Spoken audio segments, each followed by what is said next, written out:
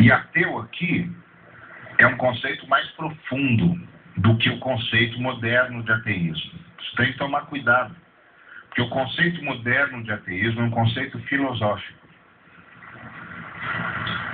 Um conceito filosófico que nem sempre declara, nem sempre, nem sempre demonstra de, de fato a existência do ateísmo no sujeito que se declara ateu. O conceito do ateísmo no Ocidente, no, no Ocidente moderno, é, é, extremamente filosófico. O cara dizendo, eu não acredito num Deus assim, assim, assado. Eu não acredito num Deus assim, assim, não sei das contas. Eu não acredito numa força pessoal, não sei o que lá. Eu não acredito. Isso tudo é filosófico. O ateísmo que o salmista está denunciando aqui é existencial. É quando o sujeito no coração diz o mal não vai, ficar, não vai ser punido. Não existe ninguém que vá, que vá punir a maldade. Não existe ninguém que vá mexer nesse negócio. A vida é assim mesmo. Quem pode mais, chora menos. Não tem equilíbrio, não tem justiça, não tem nada disso. Se eu não cuidar da minha vida, ninguém cuida de mim. Se eu não aproveitar as oportunidades, elas não caem no céu. E se aproveitar as oportunidades vai atrapalhar a vida de alguém, azar dele. Esse é, o, é desse ateísmo que o salmista está falando. É o ateísmo de coração. É aquele coração que não acredita mais na punição da maldade. Que acha que esse negócio vai ficar impune que esse negócio de justiça é conversa de fracos.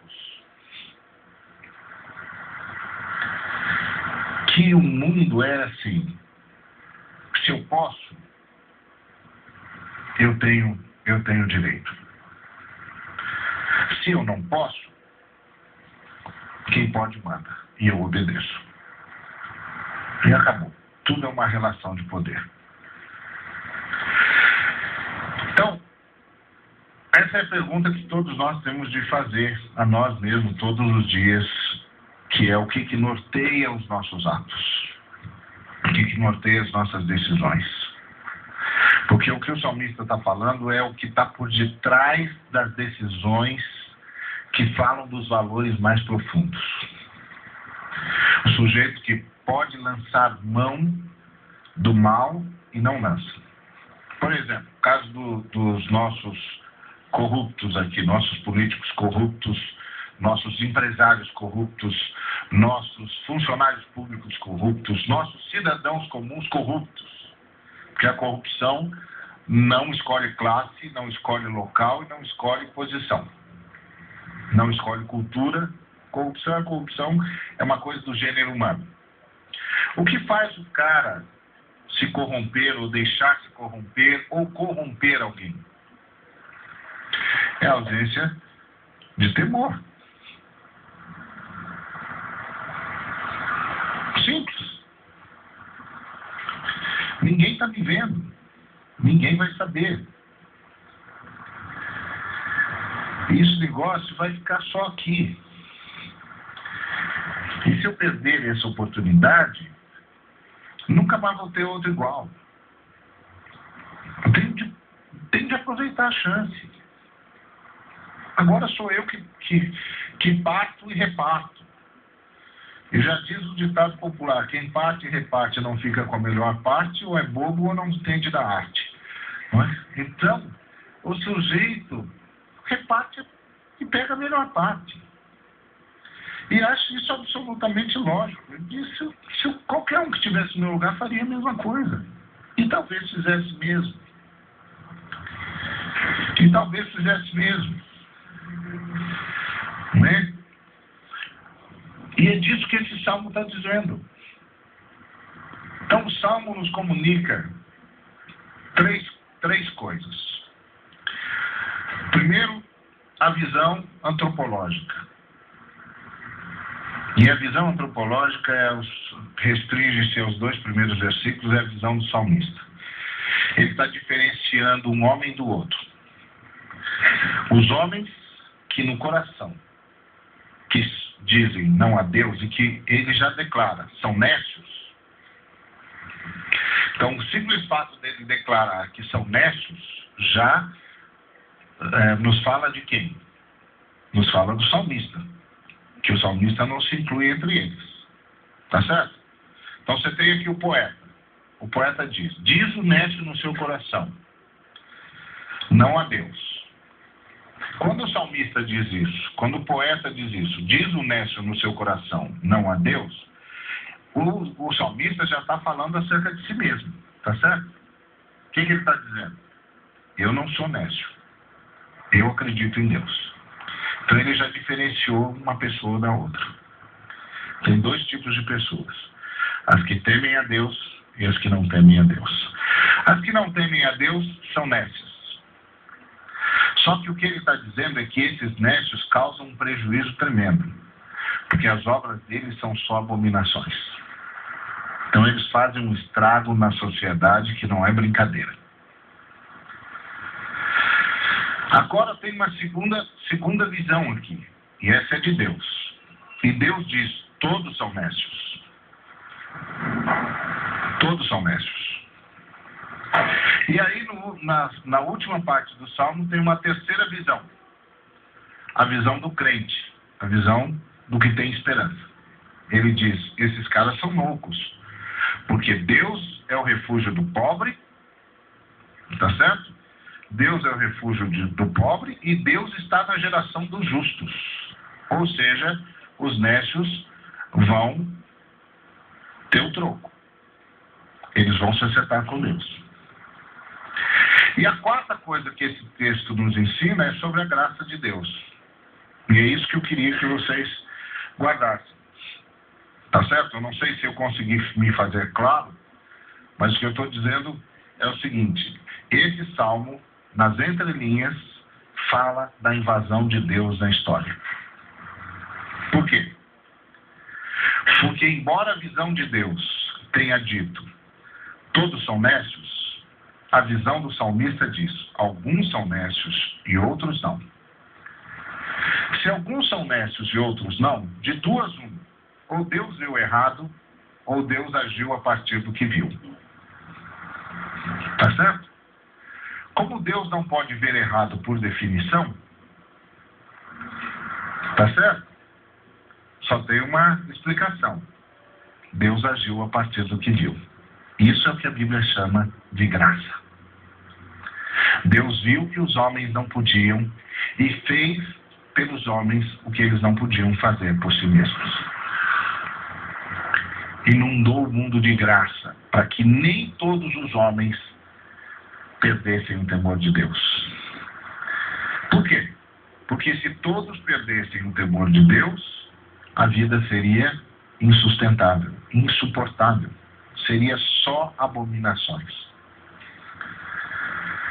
Então, esse, esse salmo nos fala quatro coisas diferentes: uma visão do antropólogo, aos que temem e aos que não temem.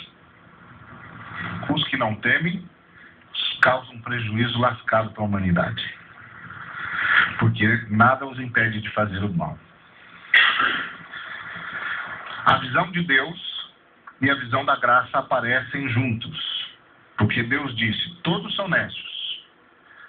Mas a declaração do antropólogo também declara, também é, expõe que Deus agiu. Porque Deus fez com que alguns deixassem de ser nécios. E isso é algo, algo que nós temos de guardar no coração. Tiago vai dizer isso mais tarde. O que, que o Tiago disse? Todo dom perfeito, toda boa dádiva vem de Deus. Então, tudo que você vir de bom, de justo, tudo que você vir de, de boa dádiva, foi Deus que, que fez, foi Deus que derramou, foi Deus que interagiu, foi Deus que entrou na história para salvar os homens. Então, esse salmo, da mesma forma que fala do Deus justo, fala do Deus gracioso. E isso é coisa maravilhosa de você ler a Bíblia. Percebe? A Bíblia fala na linha e na entrelinha. Fala na proposição e na forma como a proposição foi feita. A Bíblia fala do Deus que age o tempo todo. Tá certo? Deus que age o tempo todo em favor dos homens. Senão, a vida seria insuportável.